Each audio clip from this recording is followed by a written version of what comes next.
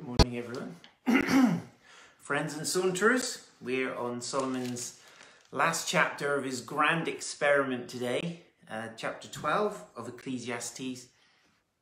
And well done, everyone. I'm trying to sit in such a way that I don't get the sun in my eyes.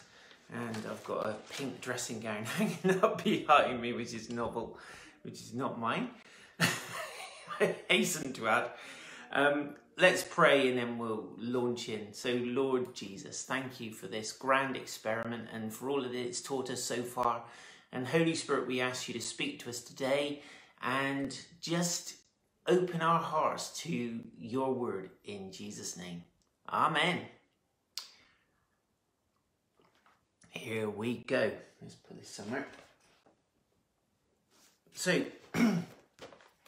Ecclesiastes chapter 12. Good morning, 40. Good morning, Sarah and Joan and John and Anna and Fliss and Hayes. So good to see you all. He says this most profound statement, chapter 12 Remember your Creator in the days of your youth. Before the evil days come and the years draw near, of which you will say, I have no pleasure in them. And so Solomon is kind of pulling together the thoughts from the last chapter. He was saying, wasn't he, Rejoice, O young man, in your youth, and let your heart cheer you in all the days of your youth.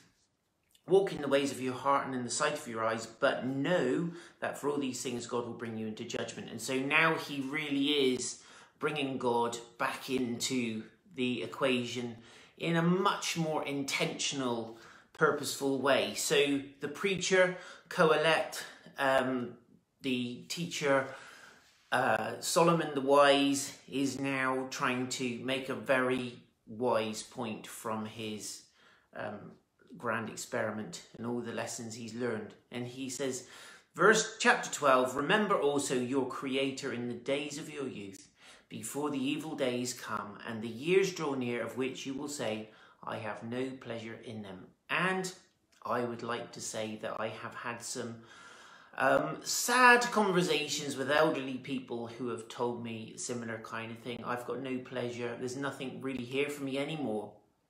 I would much rather go to be with the Lord because that's where my hope is. That's that's what I've been living for. And now everything hurts. Someone, one of my elderly friends said to me once, old age brings with it lots of unwelcome companions. And it's quite sad, isn't it? Good morning, Kev and Fran and Sandy and Lorraine.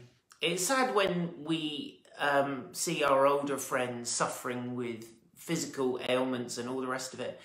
And I think the point that Solomon is making, and there is a very good point, sometimes it might seem a little bit unspiritual to say it, but I think it is easier to enjoy God and life and the universe when our body feels all right, when it doesn't hurt. When our body is aching, it's actually quite difficult to think about anything other than the pain, isn't it? And we have to develop skills to kind of tune out the pain and all this kind of thing. And um, someone once famously said, I think William Booth, the, the founder of the Salvation Army once said, don't try and preach the gospel to somebody who's got toothache. So, like, don't try and tell them the good news of Jesus when they've got toothache because all they can think about is their tooth hurting. And uh, good morning, Denise. And so that's a really, really important point. And so, but the problem is when we're young, there's so much to be done, isn't there? And there's so much adventure to be had and we've had young people grow up in church and then they start to have a relationship and they want to get off and do the things that young people want to do when they fall in love and they don't want to particularly wait until they're married before they start enjoying the fruits. And they want to get going and enjoy it all now. And then they feel a bit awkward about coming to church and they don't want to look me in the face because I'm so scary. And all those kinds of things. And and it, it kind of time travels, time passes, doesn't it? And we have children and stuff and work, and we're trying to get this um, promotion, so we've got to work really hard for that, and we've got to study to get these exams so that we can move up the pay grade, and then we have more responsibility, more hours of work for a bit more money. So we get a nicer holiday, but a rubbish your family life. And it's sort of life drives us on, and there's always something else. And if as long as we're putting it off and procrastinating and saying, I'll deal with that when I'm older, and I really genuinely do believe that some people think that they'll find God when they'll look for God when they're old and they've got time and all the rest of it. And Solomon is saying, don't fall for that one. Young person, even you child, because he says the dawn of life is so short, didn't he? He said that yesterday. We saw that yesterday. He said the youth and the dawn of life are vanity. They're like a vapor. They are here today, gone tomorrow. And we've said and laughed about it, haven't we? We look in the mirror and we see, oh my word, where did all those lines come from? I'll take my glasses off, then I won't see them, but then I can't see what I'm doing. I cut my nose when I'm shaving or something, you know what I mean? And so he's saying, remember your creator in the days of your youth. Now this was drummed into me by my parents. And you know what? I'm really glad it was because I got very wonderfully by God's kindness. I've had all these years of my life to enjoy Him, to walk with Him, and to have Him answer my prayers, and to discover the wonder of His beauty and His nature. And I'm still on that journey, but I'm farther along that journey now than I was when I started out. I have a friend who's watching Joan and when she came to the Lord, I think she was in her 40s. So when she discovered Jesus, she was in her 40s and she was looking back on a, a failed marriage and quite a bit of heartache. And she said she cried for a whole year. And her cry was, Oh God, why didn't you let me find you sooner? Why did I have to go through all of this? Why did I have to find you now? It's great that I have, but I've only I'd found you sooner. And that's a so anyway, here we go. So that's verse one. He said, before the evil day comes, before the days of trouble kick in, and that's all you can think about, before the fact of your multiple diagnosis, um, is all you can jolly well think about. And you say, I have no pleasure in them. Now he goes on into a beautiful but somewhat painful poetic description of what old age is like. And see if you can spot the metaphors as I read it, and then we'll go, we'll skim back over it. Verse 2, he says, I'm just going to read this chap, this this section down. He says, "Before the sun and the light and the moon and the stars are darkened, and the clouds return after the rain, in the day when the keepers of the house tremble and the strong men are bent, and the grinders cease because they are few, and those who look through the windows are dimmed, and the doors on the street are shut, when the sound of the grinding is low and no one rises up at the sound, sorry, and one rises up at the sound of a bird, and all the daughters of Sodom are brought low, they are afraid also of what is high, and terrors are in the way. The almond tree blossoms, the grasshopper drags itself along, and desire fails because man is going to his eternal home. And the mourners go about in the streets because before the silver cord is snapped, or the golden bowl is broken, or the pitcher is shattered at the fountain, or the wheel broken at the cistern, and the dust returns to the earth as it was, and the spirit returns to God who gave it. Vanity of vanities, says the preacher, all is vanity.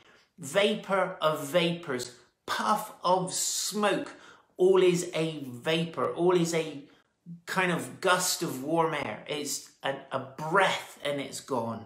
So what he's saying here is um, he's describing the aging process and he's describing an old person with kind of very vivid poetic imagery. Good morning, Alison.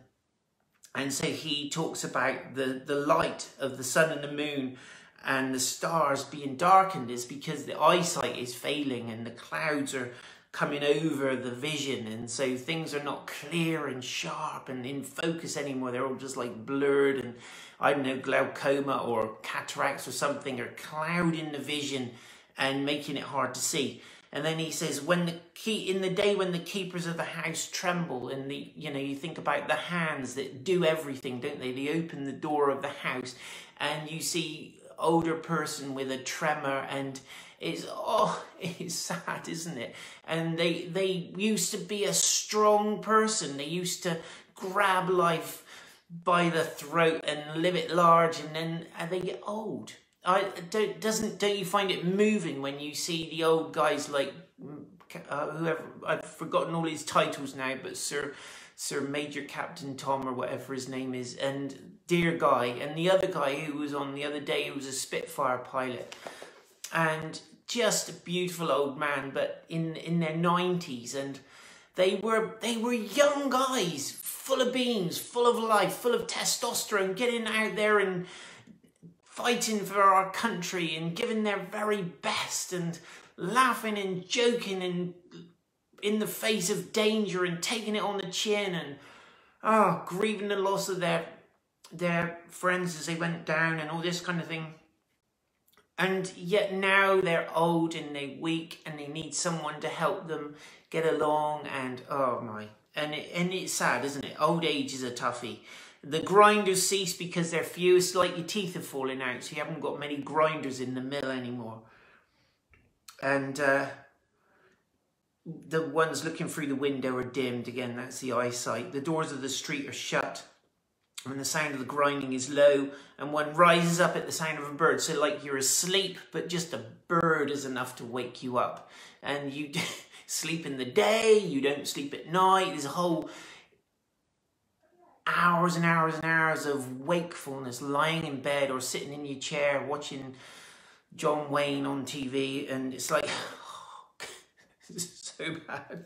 And he said the they they're afraid of the the song, the all the daughters of song are brought low. There's no singing going on. There's no joy in their voice. Good morning, Chris. Um, they're afraid of what's high. Terror's in the way. So they just where they would have just gone out boldly, they would be cautious, taking very careful steps with a stick or maybe two or a Zimmer frame or something.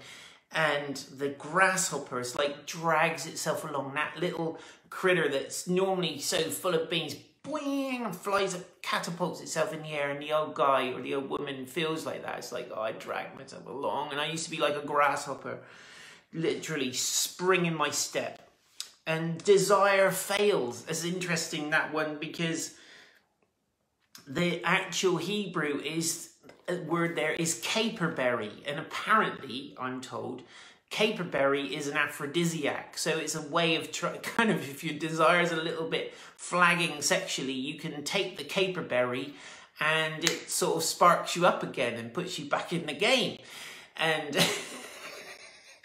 gives you something to anyway get you going. And he says even that doesn't work when you get old. And it's like you're thinking, oh my, let's not even think about it. But it's like you, the the desire failing, and that is a big thing for a for a man or a woman to feel like their libido has gone. That thing that they had to work so hard to control when they were younger is like no whiff of it anymore. One little glimmer of testosterone or whatever would be welcome.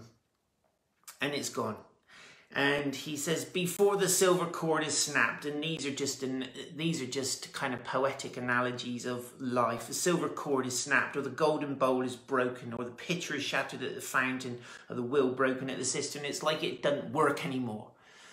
A golden bowl that's broken is broken, isn't it? It's in two bits, or six, or twenty. It's no good and the cistern that you can't get water out of is oh and he says and the spirit returns to god who gave it. And so we have that sense don't we that this life is so short it's fleeting and it will return to god. And he's just told us and he tells us again at the end that we will face judgment.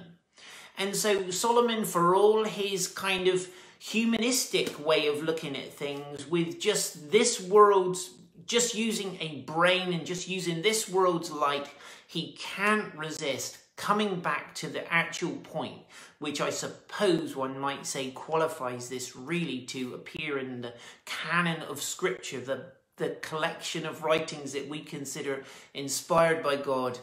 Hayes, poor Hayes, thinking she'll go now. Yeah. Um, and it, it, it, it, that sense that God, we will stand before God and there will be a judgment. All of this will, all of this life will be reckoned up and it will count.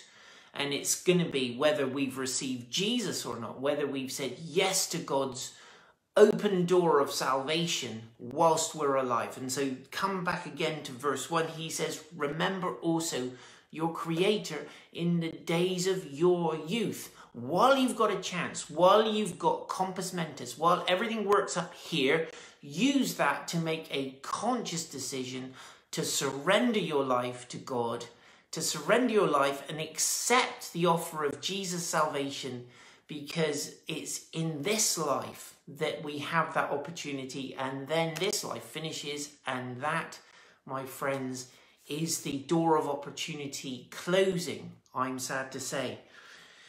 And so verse, so he's saying, and it is vanity of vanities, all is vanity. He's not saying it's all pointless. He's saying it's all very short, very brief, and it can seem pointless.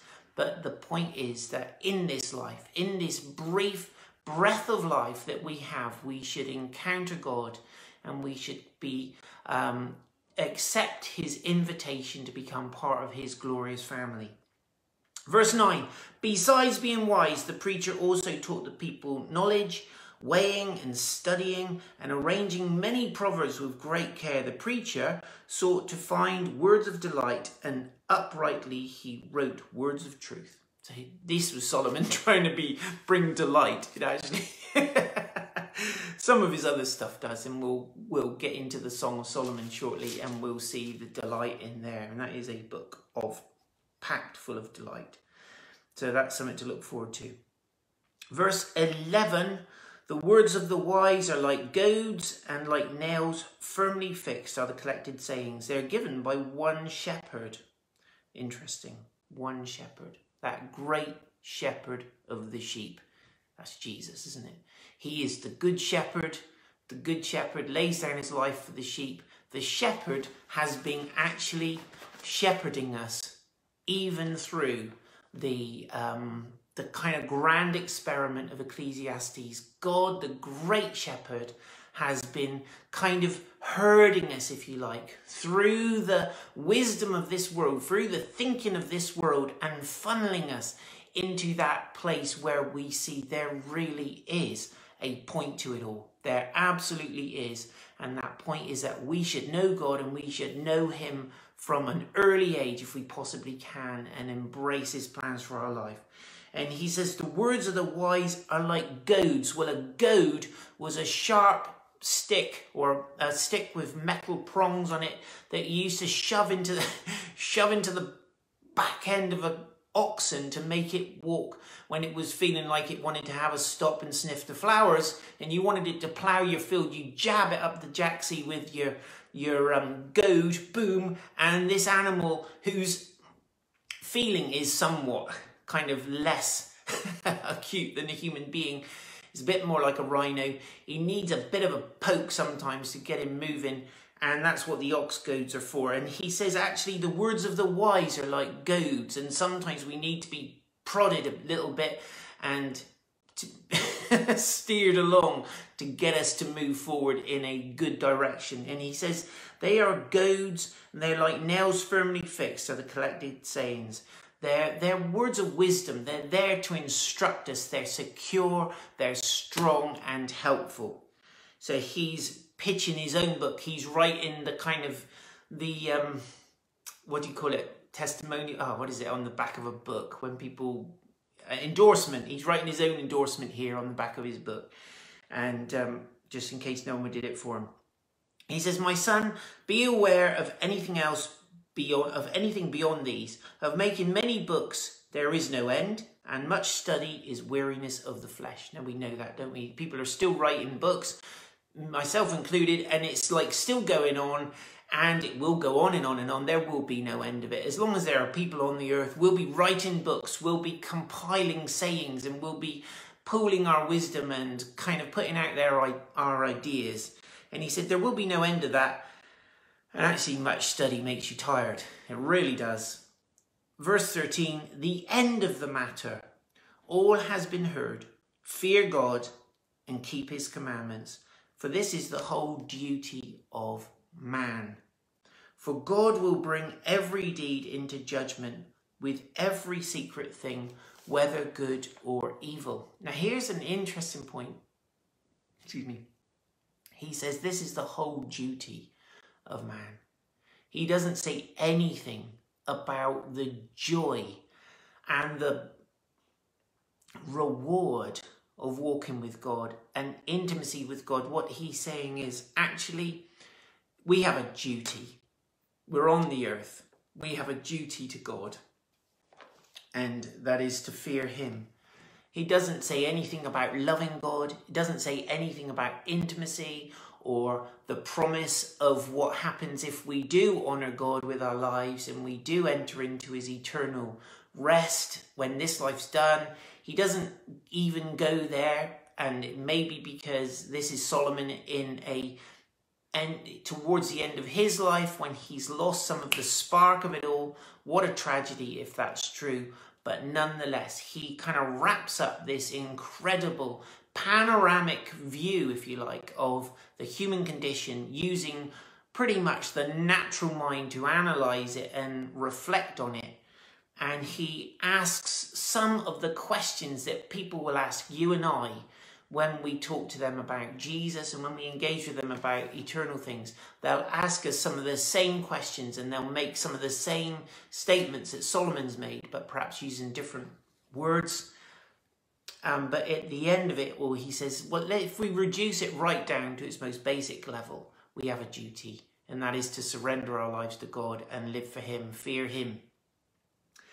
And God will bring every deed into judgment with every secret thing, whether good or evil. And that is so true. We went in the marriage service, one of the um, when we're setting people up for the, you know, we're gonna we say these vows are gonna be made in the sight of God, and He knows every secret thing, doesn't He? Good morning, Raymond. Great to see you. He knows every secret that's going on in our hearts. We cannot fool Him, and one day we will all stand. Paul the Apostle says, We will all stand before the judgment seat of Christ. We will all stand before God. And so here's the admonition of the preacher. Here's the point of it all is good morning Michael is to remember your creator in the days of your youth. Now if you're already in your 40s or 50s and 60s and you kind of think objectively I'm not that young anymore, still do it now. Do it now. Get on your knees. Say Jesus, will you come into my life? Will you forgive me for all of my waywardness, all of my living for me ism? And I want to surrender my life now to you for the rest of my life. And I trust you that when this life is done, there will be a beautiful life waiting for me with you forever. Amen. Have an amazing day. Watch this space. We will be starting the Song of Songs soon. I just need a little bit more time of reflection before I launch into such a challenging and beautiful, glorious book. So it's been so much fun. Um, we've sauntered through over a hundred pages in my Bible since lockdown, which has been great fun. And thank you so much for everyone who's come with me and helped me to make the effort God bless you. Lots of love to you.